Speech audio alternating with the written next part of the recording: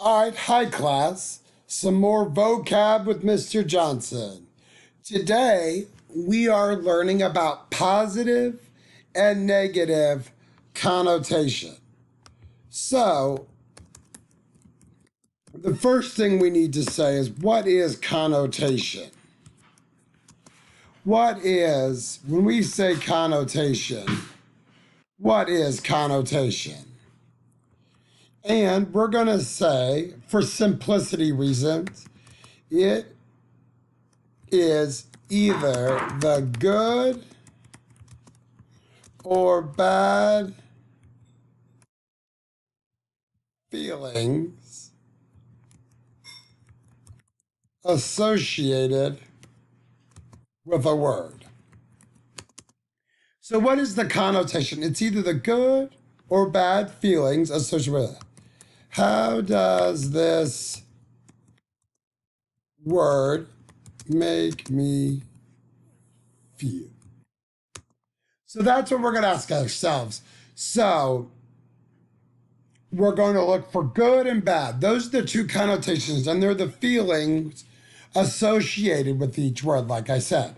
So as you can tell, I have my two screens up. I have my IXL screen and my note taking screen, which I always have because it helps Mr. Johnson keep his thoughts straight. All right, so let's begin. It says, which phrase has a more negative connotation? So I'm looking for a negative connotation. So that's what it said. I'm looking for a negative connotation. And I have two words, two sayings.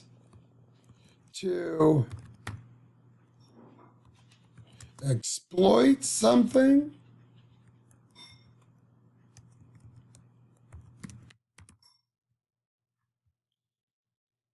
and to use something. So these are my two options. I need to know which one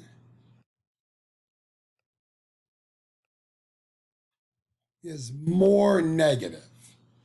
So to use something. First, let's define to use something.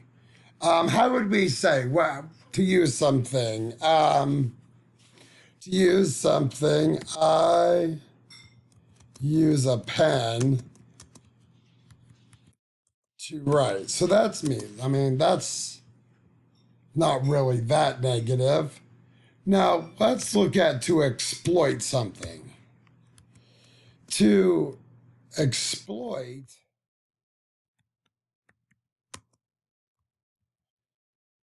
means to to make rumors or statements that damage something. So that's what it means to exploit. To use just means to do an act with something. So if I look at these two, I have exploit something, which means to damage it or make rumors. So if I wanted to exploit um, Spider Man to the public, I would go around and say all these nasty things about him and get people to dislike it. But if I use Spider Man to save my life, that means I called on him, right? So I'm looking at which one is more negative. So, which one of these is more negative? Definitely going to go with exploit. So, I'm going to come up here to my answer box, check exploit, boom. All right, I'm going to erase my notes so we can do this again so we can get better at it. All right. Which phrase has a more negative connotation? So, again, we're looking for negative. Which one is more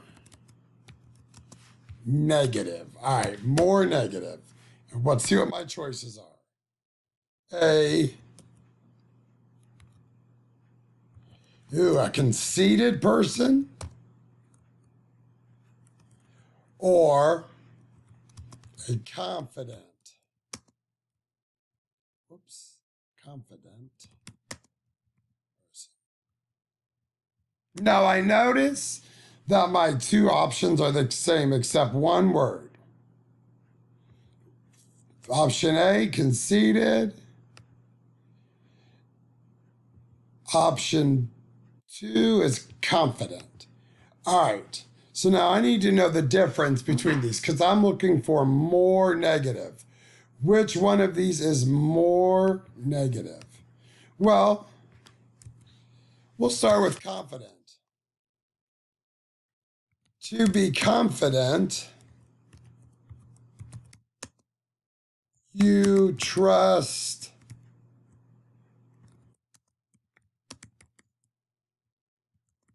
that you have the ability to do something.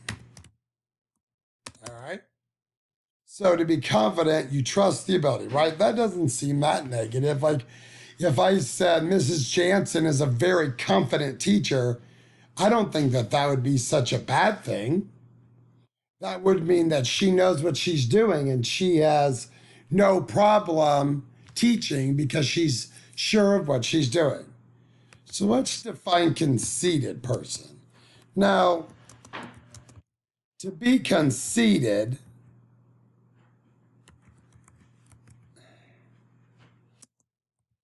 you feel that you are the best at everything. You are never wrong and your poop don't So if you're a conceited person, you just think you're a know it all. You're a mister. I know everything. I'm always right. No one's as good as me. I ought to get everything given to me because I'm the best. So I have a confident person and a conceited pe- person. Definitely between confident doesn't really make me feel negative. But a conceited person, that is definitely something I don't want to be. So I'm going to pick a conceited person. Look at that. All right, we're going to erase. We're going to erase our notes. We're going to do one more.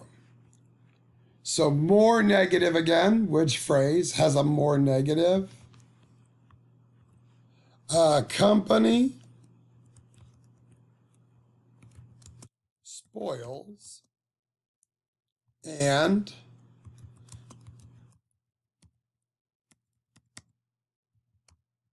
Uh, a profits. So I see that again, my phrases are about the same except for these two words spoils and profits. Now, you may be like, oh, Mr. Johnson, I know which one is negative.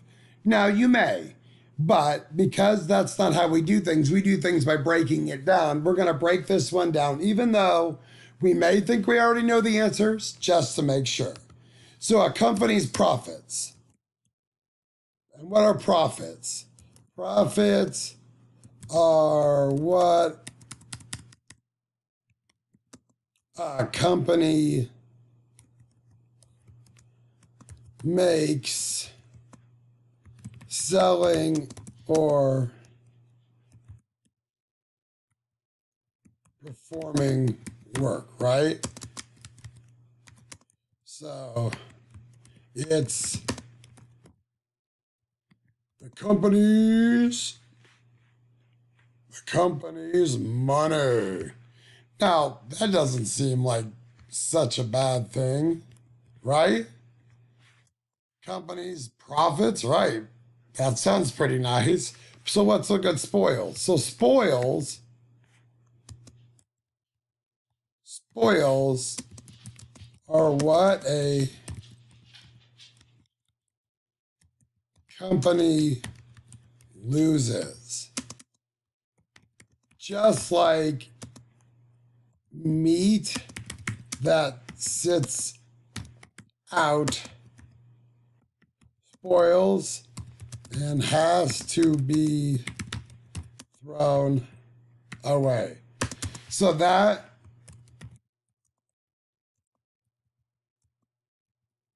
and that